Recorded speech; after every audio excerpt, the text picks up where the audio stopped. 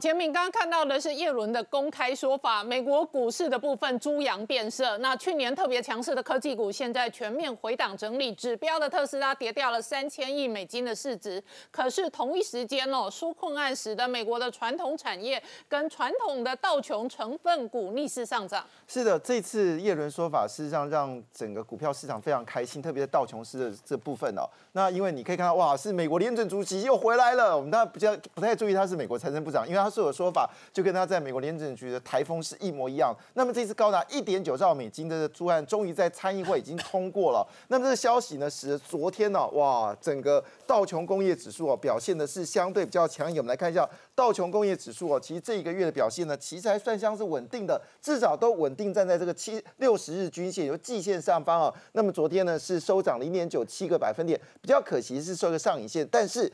哎，你要跟谁比呢？我们来看一下，昨天呢最凄惨的，当然就一定要先看一下费半指数哦。昨天费半指数呢是不用客气啊，一口气哦笑纳大跌了五点四七个百分点。那当然包括台积电重挫六个百分点。刚刚不是只有特斯拉是重挫，事实上苹果呢也是走向了空头哦，这一个月跌了十个百分点哦。所以纳斯达克呢已经肯定是一个标准的重灾区哦。那一样道理，我们关心就是它到底是走空还是这个震荡呢？对，我们一样看这个季线哦。那么季线位置呢是在这个。呃，就是我们说的一一万呃一一万三千两百一十九点哦，那现在呢也正式跌破了，表示呢纳斯达克呢也是走向空方趋势。人家好奇哦，为什么？当然有人说这是利率问题，但不论怎么样呢，是背后呃藏了一些讯息呢？确实哦，你知道现在这个中国两会呢正在积极的召开嘛，哈。那其中呢，已经非常确定的事情，大家都不会管什么台湾、香港啊，这管的就是中国呢执行的一个七大战略计划。我们这样讲，AI 这是老调重提，大家都知道；量子计算这个也都知道。那么包括我们说的这个生物科技，这个也都知道。那么这次比较特别事情呢，它加入一些新的元素哦，包括我们说的这个呃，像是我们说基因技术啊，还有神经科学啊，还有包括我们说的这个呃航太工业呢，这部分是非常大的一个成分。可是大家关心的不是这他们。到底提了什么事情？而是呢，这一次非常特别的事情是，他们主张要有国家的实验室，从基层培养。科技人才，这在《华尔街日报》呢是被大幅度的一个一个标示出来哦。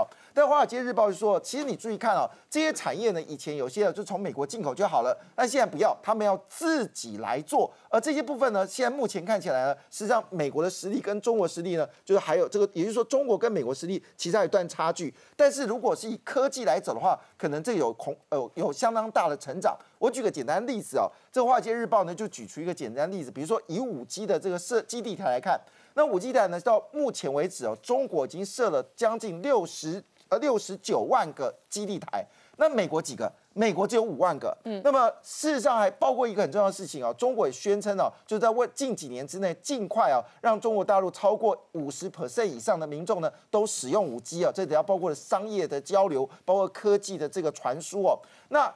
那么当然，里面它最大的战略是什么？它急切的在六 G 呢，要跟这个美国来做一个这个战役哦。所以看得出来说，哎，中国在做什么事情？因为他们是一个比较呃，就是我们说的比较是政策主导的国家，所以他们确实速度很快。华尔街日报当然也注意到这些事情啊，这些事情是不是造成美国科技股的这个下跌？我们当然还要持续观察了哈。不过讲到这边，我们要特别提一件事哦，川普早就已经预告这件事情了。你知道，就我们以为川普已经下台，但是并没有哎。最近呢，有一则重磅消息啊，就是美国最大的指数提供公司之一啊，叫做罗素啊。我们说罗素两千、罗素三千是大家最熟悉的一个指数嘛哈。那它有这个有两只指数呢，里面都有所谓的这个小米，好，小米都在里面。那突然呢，他说三月十二号。小米啊，就正式要从它的所有指数的前面拉下来。那我们知道，昨天啊，其实美国呃中国科技股是重挫嘛，深圳 A 股一口气跌了超过三个百分点，香港股市也蛮惨的。小米你知道跌到多少吗？我刚才说罗素呃呃深圳 A 股是跌掉将近差不多三个百分点，可是呢，小米因为这个消息，因为昨天公布了嘛，直接不客气哦，直接跌了将近九个百分点啊。所以这个情况下看起来，美国的动作并没有这个松懈哦。那我们知道小米当然未来前途如何，我们值得观察。但是是呢，我们都知道有一个叫做无人机啊，这个大家印象很深刻吧？这个我们说的大疆啊，那么大疆呢是川普这个商务部特别点名，美国国防部也特别点名这家公司呢，必须要把它禁制。好了，你知道现在大疆的状况是如何呢？我们知道大疆哦，在这个美国呢，其实是重中之重哦。坦白讲，扣除军事以外啊。